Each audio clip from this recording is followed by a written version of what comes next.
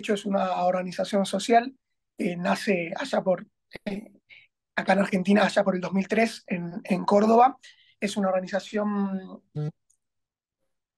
que se encarga y que trabaja en barrios populares con eh, un equipo de voluntariado también, acompañando a, las comunidades en las problemáticas que, ellas mismas identifican a través de diferentes programas de eh, vivienda, formación, construcción de veredas, proyectos de infraestructura, em, de infraestructura de hábitat.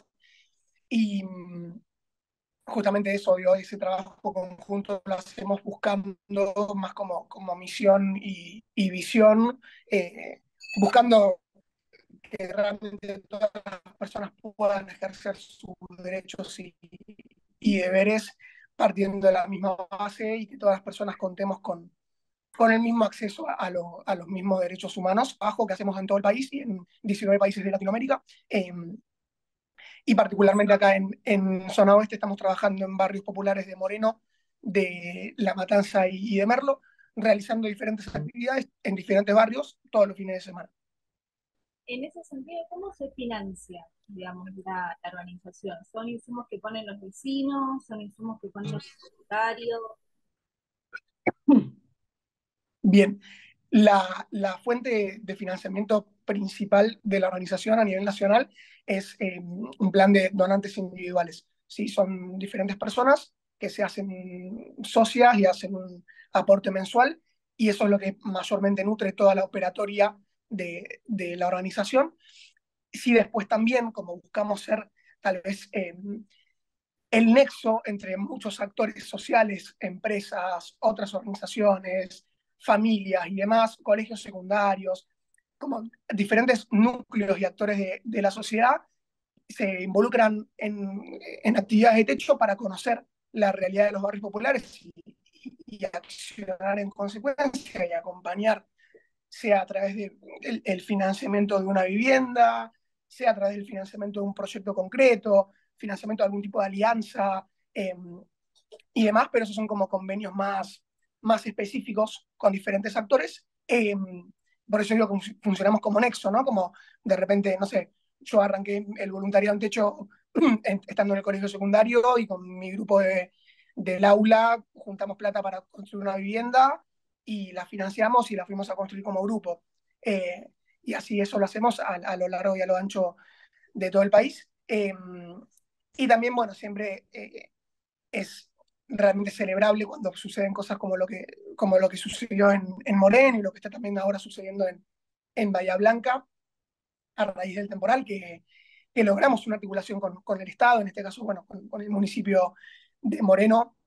En esto último que decís, es decir, el municipio se hace cargo del financiamiento de las viviendas que ustedes están construyendo, y Techo lo que hace es poner los insumos, poner la mano de trabajo, ¿cómo, cómo lo organizan?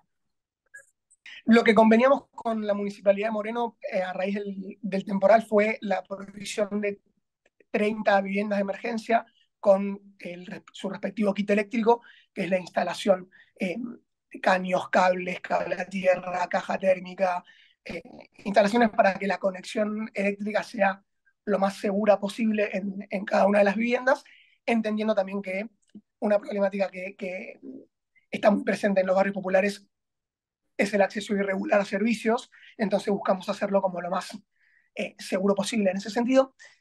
Lo conveniado entonces dentro de la, de la provisión de estas 30 viviendas fue la construcción conjunta con voluntariado de techo y personas de diferentes áreas del municipio de las primeras ocho viviendas que las construimos en las últimas dos semanas de diciembre. Antes del 31 de diciembre habíamos construido conjuntamente con personas del, del equipo de cómo ensamblar las viviendas, porque son viviendas prefabricadas. eh, y esas instancias también sirvieron como capacitación para el personal del municipio, porque el resto de las viviendas que no construimos antes del 31 se las queda eh, a disposición en stock. Las que construimos tienen una durabilidad de aproximadamente 20 años. Si las entendemos como viviendas de emergencia, digo, no, no salimos a vender que, que son viviendas que queremos que duren para toda la vida, porque, porque no, justamente el término de vivienda de emergencia es acompañar una, una urgencia que está sucediendo hoy y em, también estudiamos el impacto y entendemos que, entendemos teniendo como base las experiencias de las familias, em, nuestro objetivo es sacar a, las familias de, los pisos de tierra. Eh, y, esa, y, eso realmente lo cumplimos a través de la vivienda de emergencia.